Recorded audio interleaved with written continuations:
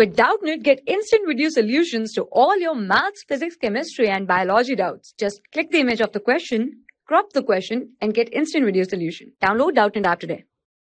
Hello friends, question is given here in series RLC circuit.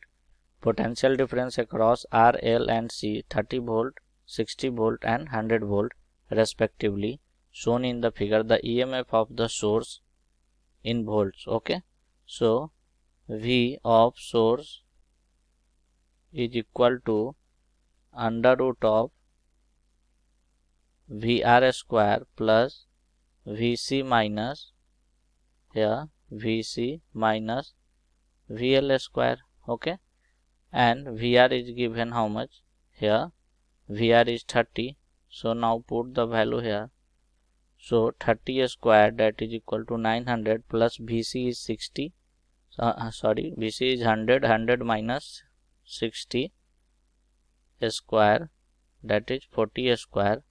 So from here this will be how much? 900 plus this will be 40 40 square that is 1600 okay? So this is equal to how much?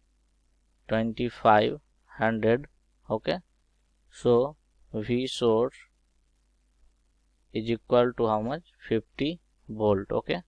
So see here option third option 3 is the correct option thank you For class 6 to 12, IIT JEE and NEET level.